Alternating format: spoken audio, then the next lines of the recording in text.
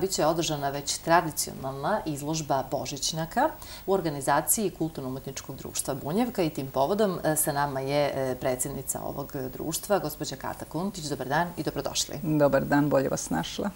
E, dakle, evo kao što sam rekla, u petak, 13. decembra, imat ćemo ponovo priliku da prisustujemo izložbi Božićnjaka. Pa nam recite gde će izložba biti održana i ko će sve izložiti svoje radove.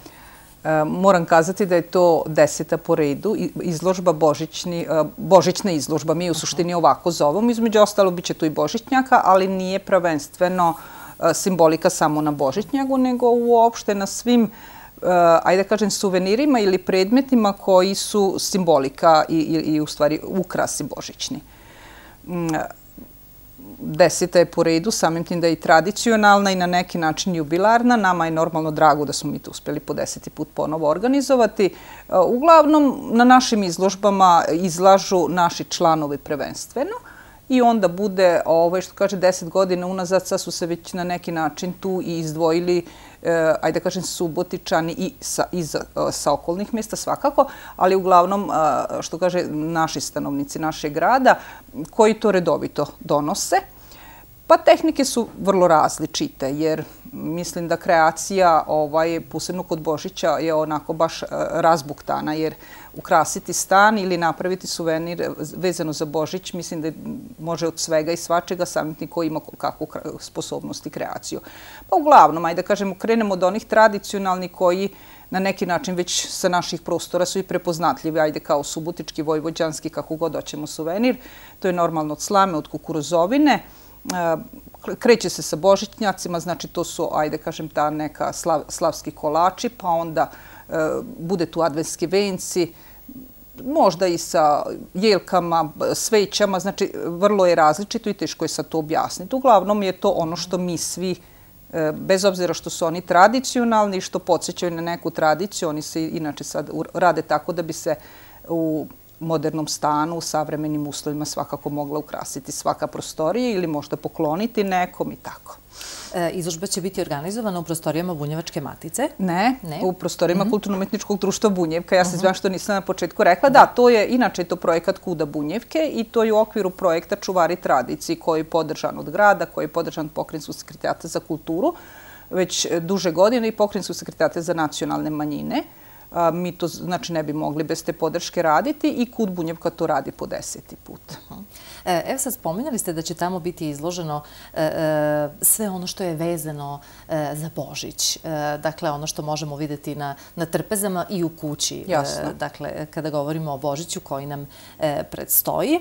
Pominjali ste između ostalog i te hajde, slavske kolače, nazovimo ih e, e, tako. Koliko će, koliko ova izložba zapravo e, će biti aktuelna, odnosno koliko će moći svi sugrađani da je pogledaju s obzirom na specifičnosti tako materijala od kojih je napravljeno, od kojih su neki eksponati napravljeni? Ja moram kazati nešto novo što bi mogla ovaj, svakako i trebala reći. Mhm.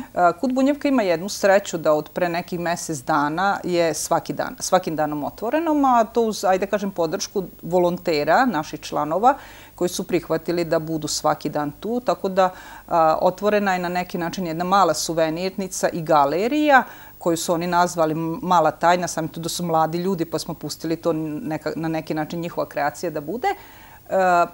Tako da, evo, posle, e, da kažemo, i deset godina ćemo uspeti da jedna naša izložba ne bude nedelju dana, jer uvek se moralo, bilo je vrlo teško ko će e, volontirski e, biti dežura na tim izložbama i održavati. Ali evo, ovi mladi ljudi to rade, evo, već kažem, mesec dana, tako da i ova naša izložba na našu veliku sreću ove godine, što meni posebno onako godi, samim ti da ti eksponate nisu pravljeni samo za katoličke praznike koji su početkom, nego tu dolaze odmah naši pravoslavni i malte ne smo, što kaže, propleteni u decembar, januar mesec, tako da tokom svih ovih naših praznika i katolički pravoslavni ove eksponati će biti tu, jer oni se na njima e, nema razlike, oni su svi jedinstveni bez obzira ko koji Božić ili koju novu godinu slavi, tako da će to biti tu. Uh, a što se tiče slavskih kolača, za sad, uh, za sad smo dobili jedan kolač koji sam ja inače insistirala normalno, jer kod Bunjevka se bavi isključivo, bavim bunjevačke kulture, ali opet kažem nije isključivo.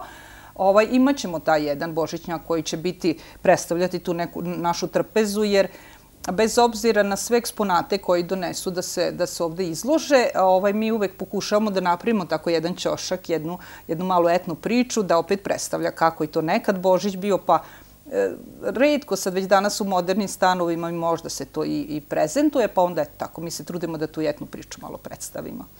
E, dakle, eto, lepa prilika za sve sugrađane, e, e, bez obzira koji Božić slave.